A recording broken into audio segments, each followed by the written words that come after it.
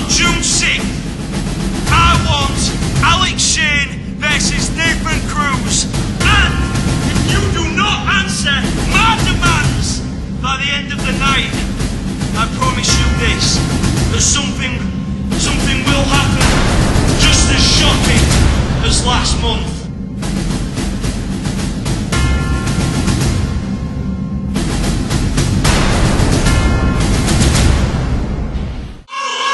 Alex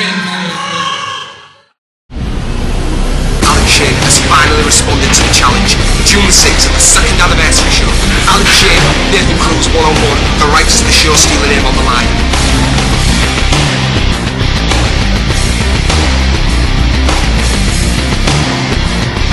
Alex Shane, he finally manned up. He finally grew a pair of balls accepted my challenge.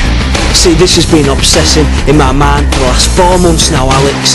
This is about making a statement, about making history. This is the final chapter in the Alex Shane Showstealer story, and the first ever chapter in the Showstealer Nathan Cruz story.